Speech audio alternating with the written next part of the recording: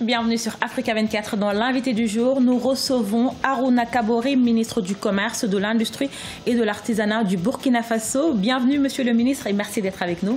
Bonjour et merci pour l'invitation. En 2017, la croissance du Burkina Faso s'est établie à 6,7%, une performance économique en nette progression. Quand les Burkinabés pourront-ils bénéficier des retombées de cette croissance? Euh, je voudrais dire que déjà les Burkinabés bénéficient donc euh, des retombées, étant donné que euh, cette croissance elle est inclusive. Elle crée aujourd'hui donc des emplois euh, beaucoup d'emplois créés euh, à la fois dans la fonction publique, mais aussi au niveau donc, du secteur privé, qui a créé à peu près 80 euh, 000 emplois hein, depuis qu'on a mis en place le, programme national de développement économique et social. Et aujourd'hui, cette croissance, elle, dépend aussi donc de secteurs qui emploient énormément, notamment donc le, le secteur agricole. C'est aussi des recettes minières qui permettent aujourd'hui donc d'être réinjectées dans le circuit global, qui permet donc de financer ce qu'on a aujourd'hui hein, en matière de construction donc de routes euh, et euh, tout le reste. Donc je pense aujourd'hui que c'est déjà une croissance inclusive, donc elle profite aux populations.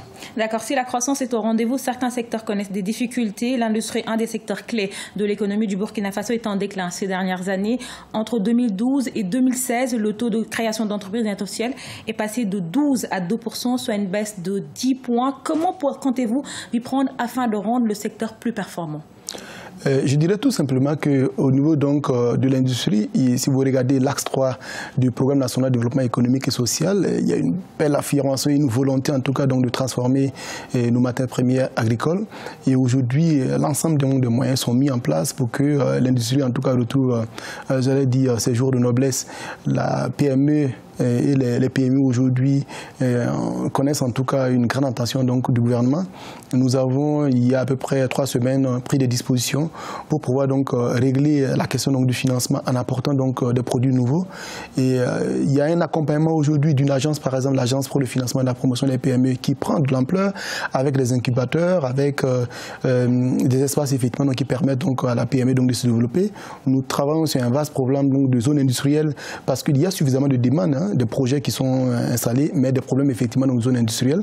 Je pense que si on regarde l'ensemble de ces actions-là et aussi euh, des actions efficaces donc, de lutte contre la corruption pour combattre un peu euh, la concurrence de l'aile, hein, de certain nombre de produits effectivement donc, qui viennent concurrencer nos produits, et je pense que rassembler ou additionner l'ensemble de ces actions, nous sommes en train donc de, remonter la pente. Mais cette explication aussi, il faut dire que le pays a connu quand même en 2014-2015 des années difficiles effectivement donc, en termes donc de, questions politiques qui ont certainement joué sur euh, l'investissement. Et c'est ce qui explique cela. Mais nous sommes en train de remonter aujourd'hui et les chiffres en tout cas sont prometteurs. Vous êtes à Paris dans le cadre du CIAO. Le Burkina Faso organise du 26 au 4 novembre 2018 un événement qui se tient depuis 1988. Est-ce que l'on peut dire que le salon a atteint son âge mûr? Euh, le, le CIAO est incontestablement aujourd'hui le premier hein, marché, le premier salon en matière de promotion de produits africains.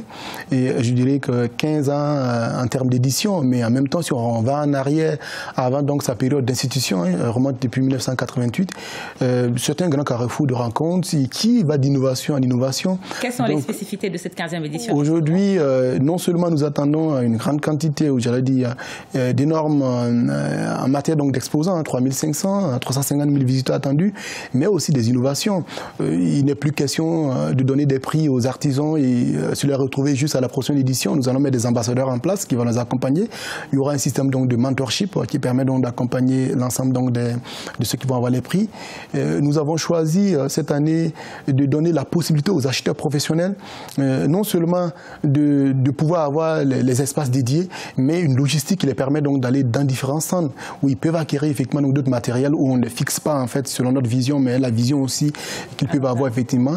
Et derrière, effectivement, donc, ils pourront effectivement donc euh, faire des achats et, aller de l'avant hein, par rapport à la promotion. Je voudrais aussi rajouter que le ministère du Commerce, de l'Industrie et de l'Artisanat met en place cette année un prix pour accompagner euh, le meilleur artisan en matière de transformation donc, de nos produits agricoles. Cet artisan a été élu sur, quel, sur la base de Ils seront élus uniquement sur le critère de la transformation donc, de matières premières, hein, celui qui a été le plus ingénieux qui a fait suffisamment d'innovation à la matière. Et à partir de cela, nous allons l'accompagner. Donc à chaque fois, vous voyez la dimension, c'est à la fois en prime, mais on accompagne jusqu'à la prochaine édition pour nous permettre donc de regarder l'impact en tout cas des prix qu'on donne là-dessus. Artisans africains, exigences du marché et développement technologique, c'est le thème choisi. Comment faire justement pour coïncider les exigences du marché et le développement technologique? Oui, aujourd'hui, vous savez, il y a pas mal d'outils. Euh, lorsque euh, il, faut, il faut songer au manuel commercialisation, c'est vrai qu'il y a le salon, mais après le salon, il faut continuer à Il faut utiliser aujourd'hui les possibilités donc, de vendre en ligne. Il faut regarder un peu comment est-ce qu'on on est capable, en tout cas, donc d'utiliser tout ce qu'on a, outils modernes, la technologie et tout le reste, pour continuer à vendre en deux biennales. Parce que euh, se limiter juste effectivement donc au salon, ça pose problème. Deuxièmement, il y a aussi les outils qui sont utilisés. On est parti quand même d'outils rudimentaires. Aujourd'hui, on a des, moyens modernes, en tout cas, sur lesquels on, peut, euh, j'allais dire, agir pour réduire la pénibilité donc, des artisans, notamment les femmes et jeunes qui travaillent en, la matière. On peut aujourd'hui euh, utiliser en matière de communication des outils modernes qui permettent donc de mieux valoriser et de vendre très loin nos produits. Donc, euh, je crois que c'est une association d'un certain nombre de choses qui vont permettre d'avancer parce qu'aujourd'hui, vous savez, le, le CIAO va prendre l'emploi, elle va devenir une start-up hein, qui est capable en tout cas donc de rajouter une couche supplémentaire à la façon de faire la promotion. Également dans l'actualité du Burkina Faso, avec 613 000 tonnes de coton grain cette année, le Burkina perd sa première place de producteur au détriment du Mali. Qu'est-ce qui explique ce redressement? Quels ont été les facteurs de cette chute? Euh, je dirais que euh, le Burkina ne perd pas du tout sa première place euh, en matière donc, de production de coton. Pour cette campagne, nous avons effectivement donc, connu une baisse qui fait que le Mali certainement donc, a, pris le dessus, mais c'est un classement ponctuel.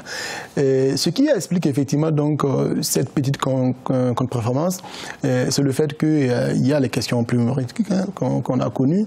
Il y a aussi le fait que nous avons vu apparaître comme ça la, mouche blanche hein, qui avait disparu euh, de la zone cotonnière qui était un peu dans les, dans les marais, qui, est revenu brusquement. Et, euh, et, du coup, je crois qu'il y a un calendrier d'utilisation effectivement des insecticides hein, par rapport donc au décalage pluviométrique qui a créé tout l'ensemble de ces problèmes. Mais là n'est pas le sujet parce que ça c'est le constat. Qu'est-ce qu'on a fait derrière? Aujourd'hui, des dispositions ont été prises pour soutenir les producteurs, pour permettre en tout cas donc, de prendre en charge les différentes pertes qu'ils ont enregistrées, pour avoir euh, de choisir en tout cas un engrais et des insecticides qui permettent donc d'avoir un traitement systématique, une large gamme effectivement donc pour combattre les, les en tout cas, insectes. Et nous avons mis une assurance en place. Hein. Elle existait, elle, a été elle avait été généralisée. Nous avons augmenté le prix. On passe de 245 à 250. Et je pense que l'un dans l'autre, on se donne les moyens, en tout cas, donc, pour, pour remonter. Donc, je pense que rendez-vous pour la campagne prochaine. Voilà. Merci Arona Kaboré. Je rappelle que vous êtes ministre du Commerce, de l'Industrie et de l'Artisanat du Burkina Faso.